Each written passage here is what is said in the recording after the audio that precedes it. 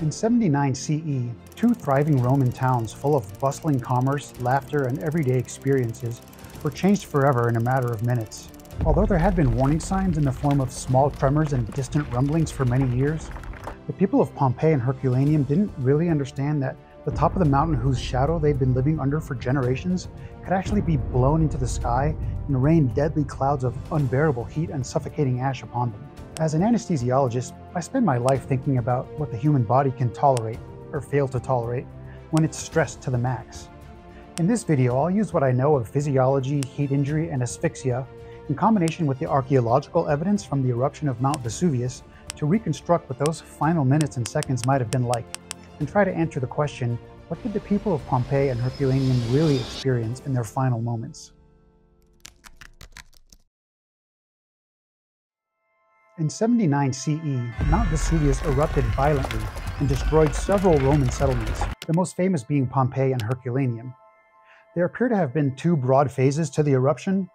First, a plume of ash and pumice called the Plinian column rises up into the sky and then begins to spread out and fall back to the ground, creating heavy fallout over Pompeii and its surrounding areas.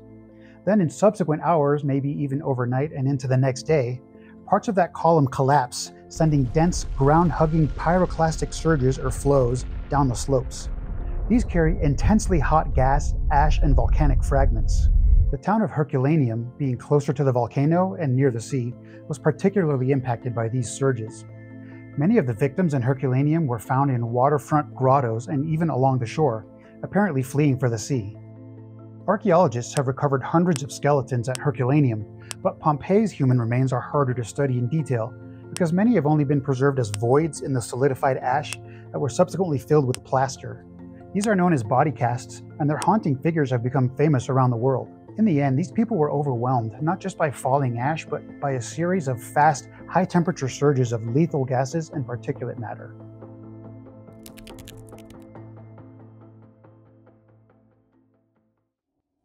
Before we zoom in on what people may or may not have felt or experienced in their final seconds, I want to step into the realm of physiology, thermal injury, and the extremes of what the body can survive.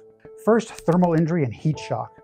In modern medicine, we often talk about hyperthermia or heat stroke, but what happens when temperatures are not just one or two degrees higher than usual, but several hundred degrees higher, or even over 500 degrees Celsius? Under these extreme conditions, irreversible damage happens at the cellular level. Enzymes, the cytoskeleton, and organelles, including mitochondria, all collapse.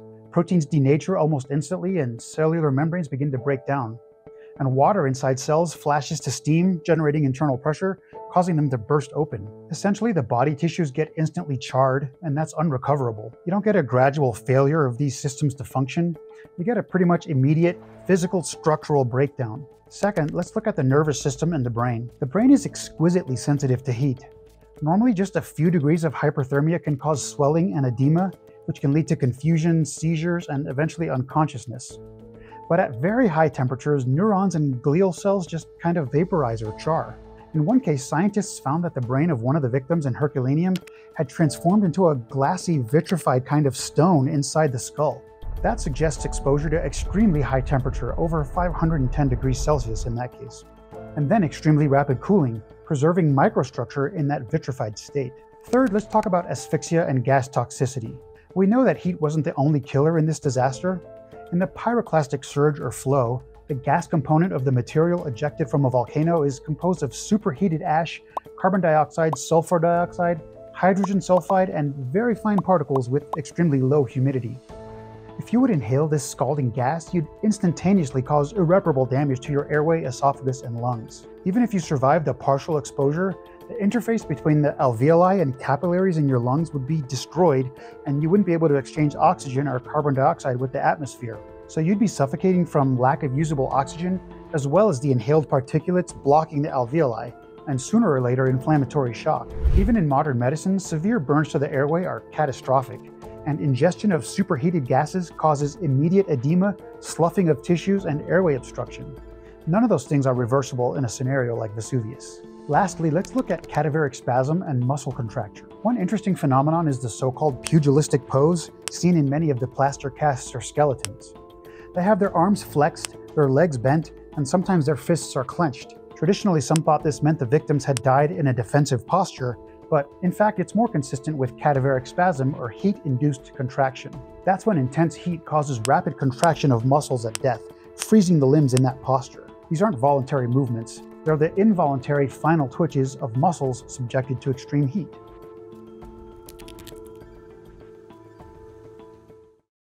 So now that we know some of the ways extreme heat can affect the body, let's walk through a likely scenario at Herculaneum, minute by minute and second by second based on archaeological and forensic evidence. During the eruption, many people likely tried to flee, but the evidence shows that some people also sought shelter at the seafront or in vaulted chambers along the shoreline. As the pyroclastic surge approached, it would have arrived as a dense wave of gas and ash moving at extremely high speed. Its leading edge is called the flow front and is often the hottest, fastest, and most lethal part. Thermal modeling indicates that the first pyroclastic surges in Herculaneum were likely extremely hot but relatively low in density, essentially a superheated gas wave rather than a thick flow of ash. The discovery of the man with the vitrified brain supports this, suggesting that victims were exposed to a brief but intense burst of super high temperature within this initial dilute surge. When the first surge arrived, we'd probably see these five things happening. First, flash heating. The skin, exposed soft tissues, and external organs are subject to instantaneous heating. Nerves in the skin would be destroyed too fast for any pain perception. Victims wouldn't even feel a burn, the heat literally robs them of the ability to sense any pain. Number two, airway devastation. Any inhaled gas is going to be superheated. The larynx, trachea, bronchi, and alveoli are catastrophically damaged. Breathing would cease immediately as the lungs are destroyed. Three, cardiovascular collapse. The heart muscle would also be cooked, and electrical conduction would be disrupted, so the pump just stops. Vascular walls would rupture, causing internal bleeding, capillary collapse, and catastrophic shock. Number four, brain and central nervous system shutdown. Brain and spinal neurons would probably all cease to function all simultaneously. That means immediate loss of consciousness, pain, and awareness. Number five, muscle spasms. The very final muscular contraction, that cadaveric spasm we spoke about earlier, fixes the limbs in place. That's why many skeletons appear contorted in that boxing pose. The total timeline from initial exposure to the cessation of all vital processes is likely on the order of seconds or microseconds, not minutes.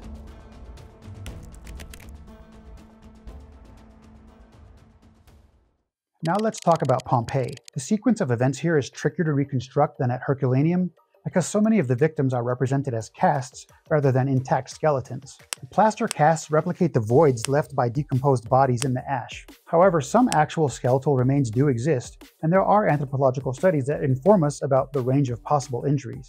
Dr. Estelle Lazer, whose PhD thesis was based on the human skeletal remains discovered at Pompeii, has interpreted that the main causes of death likely included 1. Asphyxia, suffocation by dust, toxic gases, and airway obstruction from ash inhalation. 2. Thermal shock, extreme heat waves inducing immediate cellular failure. And 3. Concussive trauma, collapsing buildings, falling debris, and roof collapse due to ash load. Even in the earlier phases when ash was still falling, breathing might have become impossible before heat alone killed everyone.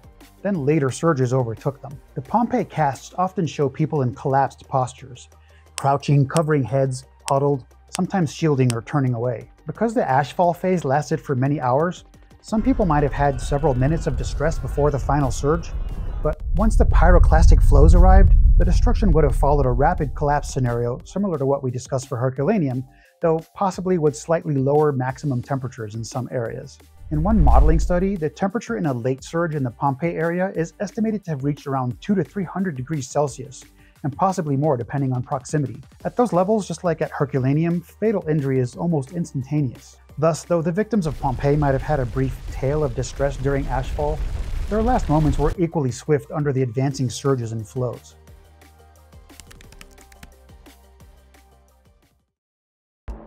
Now I want to emphasize a few common misconceptions and correct them using a bit of medical reasoning.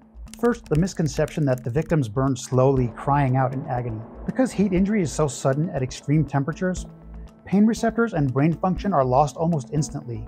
They just would not have had any time for conscious suffering. The damage is more like a microsecond flash kill, not a drawn out burn sequence. Another misconception is that they coughed, choked, and suffocated painfully. In dense, ash laden gas clouds, airway destruction is immediate. Any attempt to inhale would bring superheated ash and gas into the lungs, causing instant edema, ignition, or collapse of alveoli. So suffocation as a slow process is unlikely, The heat itself inhibits breathing immediately. There's also the misconception that some people might have initially survived, only to then die slowly in the following days or weeks. The archaeological and forensic evidence suggests there was virtually no intermediate survival time once the lethal surge front hit. The vitrified brain case points to instantaneous death at extreme temperature, followed by rapid cooling. Most of the skeletons show no evidence of movement or struggle.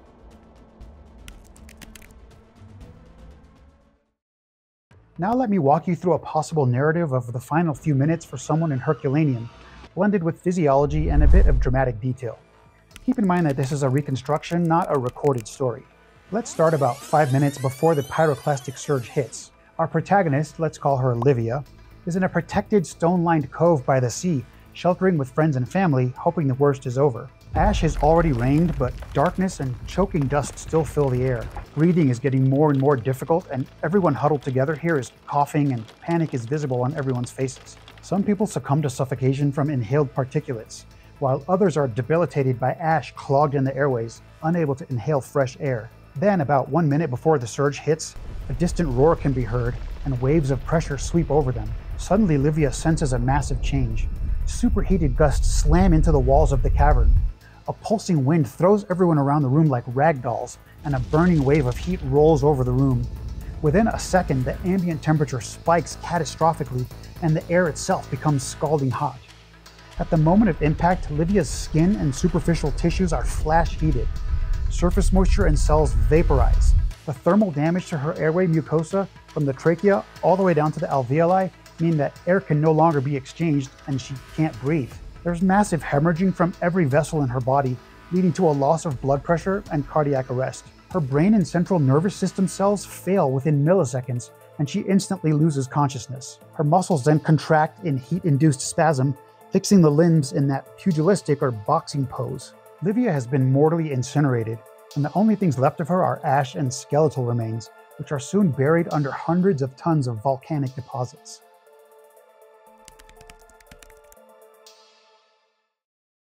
Now, you might be wondering, okay, but how much of this is actually backed by evidence, and how much of it did you just make up? And that's a fair question, but the reconstruction I just described isn't from my imagination. It's built on several solid lines of research. For starters, there's the skeletal and cast evidence. Many of the bodies were discovered in those tightly contorted postures, consistent not with panic or struggle, but with the muscle contractions that occur at the moment of death under extreme heat. Then we have that amazing find where brain tissue inside one victim's skull was transformed into glass. It's our most direct proof of exposure to extraordinary heat followed by rapid cooling. Thermal modeling studies add another layer. By analyzing the magnetic properties of the volcanic deposits, researchers have been able to estimate the temperature of those pyroclastic surges, and they match perfectly with what would cause instantaneous fatal injury. Meanwhile, analyses of bone fragments reveal patterns of heat-induced protein breakdown that confirm that these people were exposed to some extreme temperatures. Even the volcanic layers themselves tell the story. The stratigraphy, the way the ash and surge deposits are stacked, shows the sequence and timing of each deadly wave as it raced down the mountainside. And finally, anthropological studies of the remains, like those by Dr. Lazer, show that these weren't just the weak or sick that were left behind. They were healthy, ordinary men, women, and children. In other words, no one's physiology could have saved them. All of this evidence comes together to paint a consistent picture. Nearly instantaneous death from a combination of overwhelming heat and asphyxiation.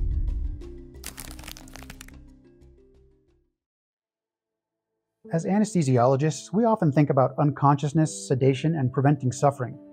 However, in this ancient tragedy, the heat wave, tissue destruction, and asphyxia struck so fast that victims had no time to react and no chance to process what was happening. Within milliseconds, vital organs failed, nerves were destroyed, and consciousness would have simply vanished. So, what did the people of Pompeii and Herculaneum really experience in their final moments? Well, thankfully, in terms of conscious suffering, the answer is probably nothing. Hey guys, this is the first time I've done one of these historical, forensic, physiologic deep dives, so drop a comment letting me know if you thought it was interesting, or if you didn't. Come on. So drop a comment letting me know if you thought it was interesting. Also let me know if there's any other historical events or catastrophes you'd like me to cover from a medical perspective. I love history, so I'll probably do it if you ask nicely enough. Alright, thank you for watching, and see you in the next video.